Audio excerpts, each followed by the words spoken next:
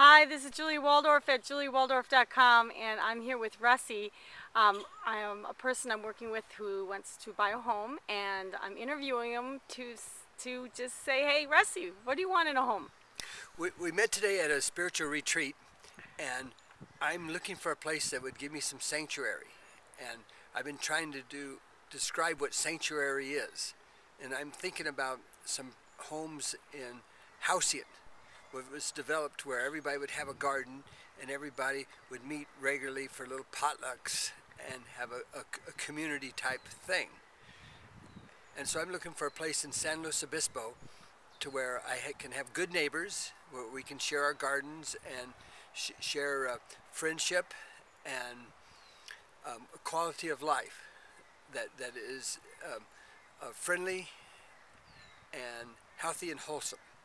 That's what I'm looking for in San Luis Obispo. I'd like it to be within the price range of the conforming loan, the jumbo loan that's available. That's, okay. Yes. Okay, so the dwelling itself, it's it's secondary compared to the environment around.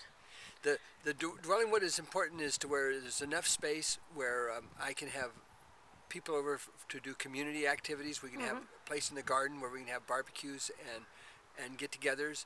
We can have enough room in the house where, where when it's raining, we can dance and go out on the porches and um, and have communal meeting, um, meetings and um, meals. Mhm. Okay. Well, um, well, that sounds good. Sounds like a sounds like a party. anyway, this is Julie Waldorf at juliewaldorf.com. Bye, Rusty. Goodbye.